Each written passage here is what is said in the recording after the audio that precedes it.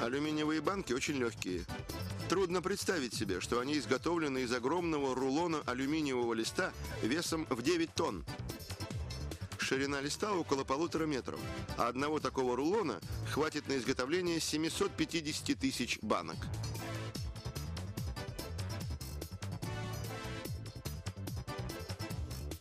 Лист попадает в пресс, который выбивает из него кружки, служащие заготовками для производства банок. Штамповальный пресс производит две операции. Он выбивает диск диаметром в 14 сантиметров и придает ему чашевидную форму.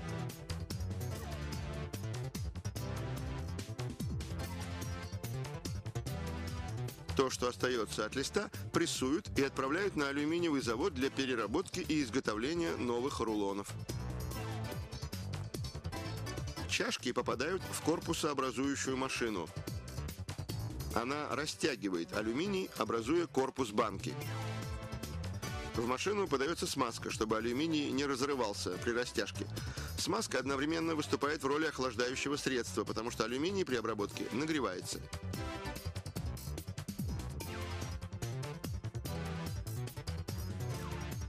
После того, как корпус сформирован, его края очищаются и выравниваются.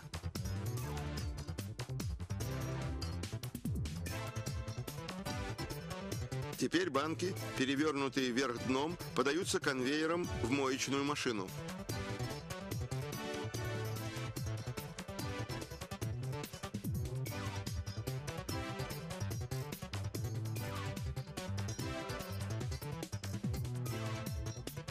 Работа моечной машины делится на 6 этапов.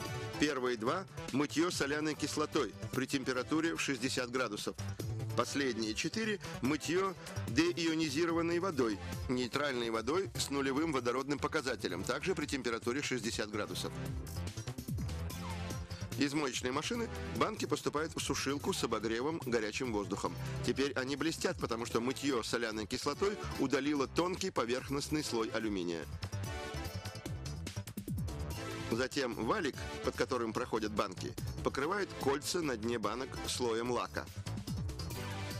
Это покрытие позволяет банкам легко скользить на конвейерах и в торговых автоматах, а в ультрафиолетовых лучах светится голубым светом. Теперь на банки можно нанести надписи.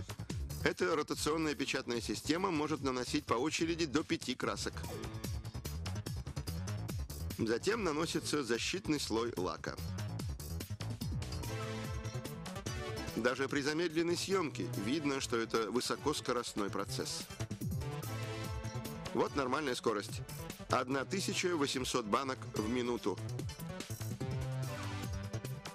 Затем банки проносятся через сушильную камеру, в которой краска моментально высыхает, а защитный лак затвердевает. После этого машина наносит лак на водяной основе на внутреннюю поверхность банок. Он образует барьер между напитком и алюминием, чтобы напиток не имел металлического привкуса. Он также препятствует коррозии алюминия изнутри от воздействия кислых газированных напитков. Затем банки проходят через машину, которая формирует 5-сантиметровую горловину банки. Это делается постепенно. Процесс разбит на 11 этапов, чтобы не прорвался тонкий, как бумага, алюминий. Следующая машина образует загнутый верхний край банки, к которому будет позже прикреплена верхняя крышка с отрывающимся язычком. Банки проходят через сложную видеосистему, фотографирующую внутреннюю поверхность каждой банки. Банки, имеющие любой дефект, вмятину или краску внутри, отправляют на переработку. Отсюда банки отправляют на фабрику по производству напитков, где их наполняют и закрывают крышкой с отрывающимся язычком. Теперь вы знаете, что можете начать этот процесс, отдав свою банку на переработку.